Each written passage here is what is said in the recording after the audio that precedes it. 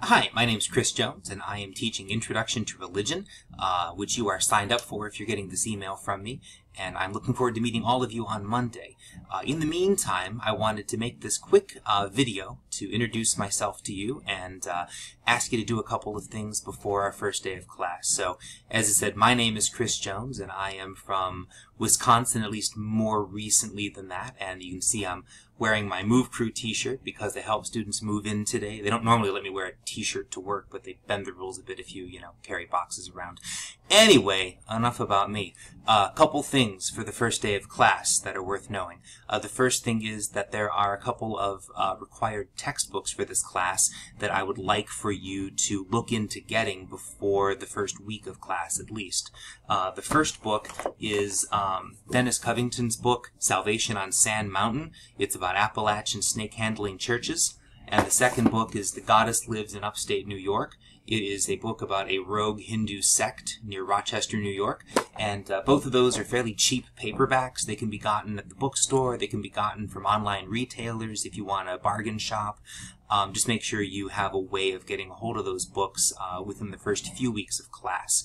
Um, the second thing I wanted to mention to you is the uh, Desire to Learn site. So I'm going to go ahead and uh, minimize my face here and open this up. So if you look here, this is um, the home page. I'm actually going to view this as a student. So this is what you would see if you signed into Desire to Learn. So go into Intro to Religion. And then if you go into content from within the course itself, the first thing is um, in the overview, I've put the syllabus up. I'm not going to hand out a hard copy of the syllabus since I know a lot of students don't keep hard copies of syllabi on them.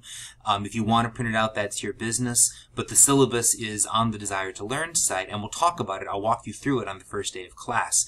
But before then, if you have a chance to read it over and come prepared with a couple of questions about the syllabus, I would really appreciate that. So that's two things, the textbooks and the syllabus. Last thing, finally, one favor you can do for me before the first day of class. Um, go into right here, before we get started, there's a little personal introduction survey. It's just seven questions. It's short. It's only for my eyes. And this just allows me to kind of get to know you a little bit before the first day of class. So go into this and just answer these questions. Tell me, you know, the name that you want me to call you in class, your preferred name. Uh, tell me what pronouns you use, and I'll make sure and use your pronouns. Um, and then a few things about you, what you're involved in on campus, where you've seen religion in your life before, um, what you can contribute to the class, what concerns you have about the class, and then finally anything else that I ought to know about you that will help me to best serve you as a professor for the upcoming semester. So that's it. Um, if you have any questions, don't hesitate to email me. Uh, the other thing is I'll be in the office all day on Friday. You're welcome to stop by. I'm in Morgan Hall 206 pop on in and say hi. Um, and otherwise, I will see you Monday morning at 9 o'clock uh, in Morgan Hall 136 if memory serves. Check me on that um, for Introduction to Religion. Thank you. Have a good weekend.